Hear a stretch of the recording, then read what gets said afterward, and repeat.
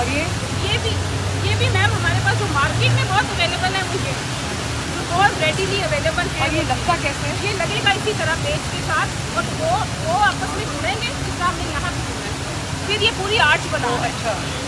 ये इस तरह से इसको हमने शायद स्ट्रेट का उसका इम्पैक्ट ना हो। चलें थैंक यू